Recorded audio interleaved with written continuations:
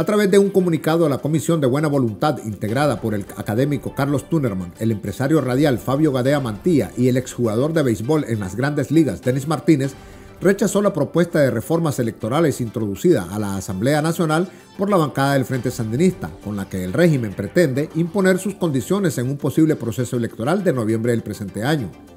Dicha comisión afirma en su pronunciamiento que esa propuesta que pretende aprobar el régimen orteguista es un zarpazo a la dignidad ciudadana y a toda la noción de democracia y señala que la ciudadanía tiene el derecho a ejercer el voto como uno de sus principales instrumentos cívicos por excelencia. Sin embargo, estas reformas electorales propician todas las condiciones para el fraude y limitan aún más los derechos a conocer, denunciar y sancionar la farsa electoral. El grupo cívico critica que la dictadura no ha acatado las recomendaciones de la Organización de Estados Americanos, donde llamó a realizar reformas electorales significativas y coherentes con las normas internacionales a fin de promover elecciones libres y justas. La Organización Panamericana de la Salud advirtió este miércoles 14 de abril que no hay datos precisos del plan de vacunación contra el COVID-19 en Nicaragua y el gobierno tampoco ofrece condiciones seguras en los puestos donde se aplica la inyección a adultos mayores con enfermedades crónicas. Ciro Ugarte, director de emergencia sanitaria de la OPS, durante la conferencia de prensa semanal que realiza esa entidad, señaló que en algunos lugares hay esperas prolongadas y que es prudente revisar las condiciones para esperar ser vacunado. Además, alertó que la Organización Internacional de la Salud no tiene información precisa de las coberturas, no hay datos precisos sobre los grupos de edad y de personas por ubicación, por lo que urgen al régimen que presente esos datos porque son necesarios para que la población pueda continuar con el proceso de inmunización.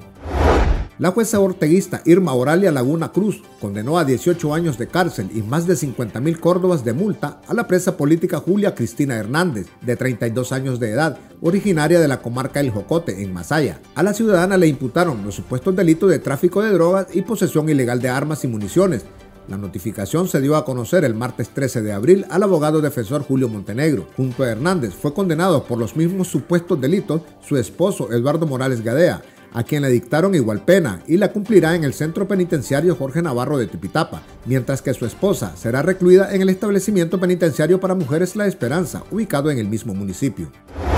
La Federación Internacional por los Derechos Humanos, a través del Observatorio para la Protección de los Defensores de Derechos Humanos,